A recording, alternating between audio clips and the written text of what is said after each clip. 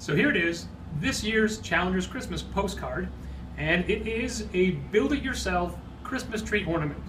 So this is a quick how-to video and has how to make this. So the first thing you want to do when you have this, you need to cut out the three shapes, the two C's with their tabs, and the white strip across the bottom. When you have those done, they're going to look like this. And what you want to do is you take your C's and you bend the tabs back just a little bit so you know where the seams are going to be. You'll notice the tabs are in different places on each C. And then we take our strip, there is a red dot at one end, and the tools that we have assembled are scotch tape, pair of scissors, which we've already used to cut it out, uh, stick glue, and a hook, or we are doubling a paper clip for that. So first take the edge of the paper clip and puncture it through right on the red dot, so you have a small hole there. Then you can pick either of the C's, whichever one you want to start with, and position the hole, let's say you're going to use one with the tap at the top, uh, position the hole just after the edge.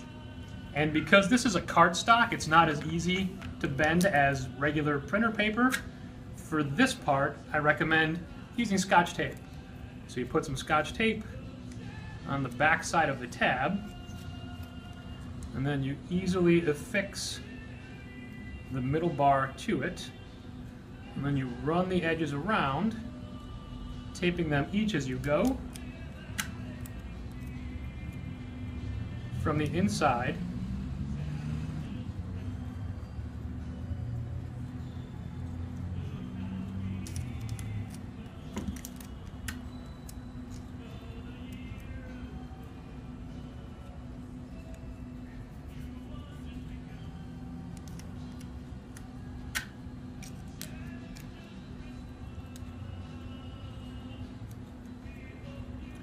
The edges should just meet.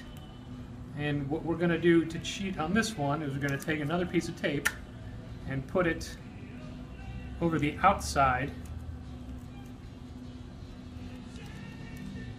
thus keeping both pieces in place. So you are halfway done right there. Now we taped over the hole, so we're going to take our hook or paper clip and just pop through the tape again. For the next side, you are going to lay your C flat. We have some paper to protect the counter. Stick glue and apply the glue liberally on each tab.